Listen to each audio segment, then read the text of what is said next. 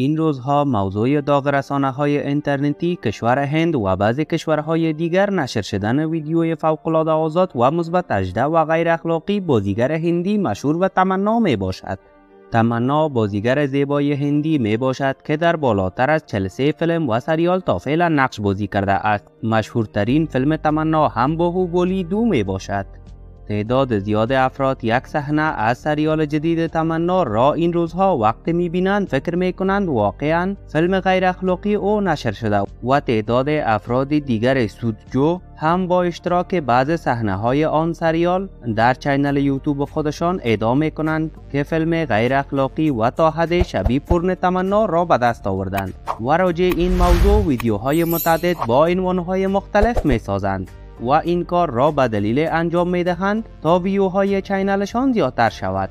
اما ما باید خالصانه اعلام کنیم اصلا فیلم غیر اخلاقی و فیلم پورنی تمنا در کار نیست و این صحنه های مثبت 18 مربوط جدیدترین سریال است که تمنا در آن نقش بازی کرده است.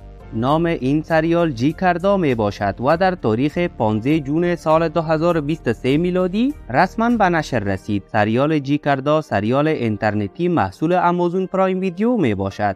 سریال که نام بردیم پر از صحنه های مثبت 18 و غیر اخلاقی است و تمنا با بازی کردن در این سریال برای خود منتقدان خیلی زیاد پیدا کرد.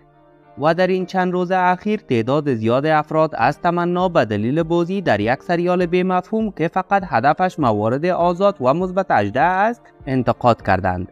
دو روز قبل خبرنگاران از تمنا دلیل بازیش در این سریال به مفهوم و مثبت اجده را پرسیدند. تمنا در جواب خبرنگاران گفت یک بازیگر باید در هر نقش و در هر سریال و فیلم حاضر باشد بازی کند و خودش را به چالش بکشد. وی همچنان افزود که از بازیش در این سریال اصلا پشیمان نیست و در آینده در سریال و فیلم های مختلف دیگر که موضوعاتشان از همدیگر فرق کند باز هم به بازیگری خواهد پرداخت. و اصلا در فکر این نخواهد بود که مردم راجع او چه می‌گویند.